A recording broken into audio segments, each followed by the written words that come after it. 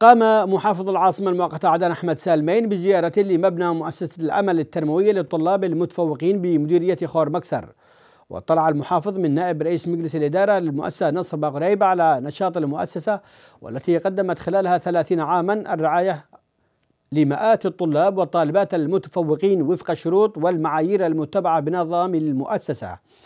وأشار بغريب إلى أن المؤسسة تستقبل سنويا قرابة 150 طالب وطالبة ممن تنطبق عليهم الشروط فيما يصل إجمالي من ترعاهم المؤسسة حاليا إلى 407 طالب وطالبة في جميع تخصصات كليات جامعة عدن وأبين والضالع ولحج وفي كلية المجتمع ومعهد أمين ناشر وغيرها من المعاهد هذا وقد أشاد محافظ عدن بدور مؤسسة الأمل التنموية لدعم وتشجيع الطلاب والطالبات المتفوقين.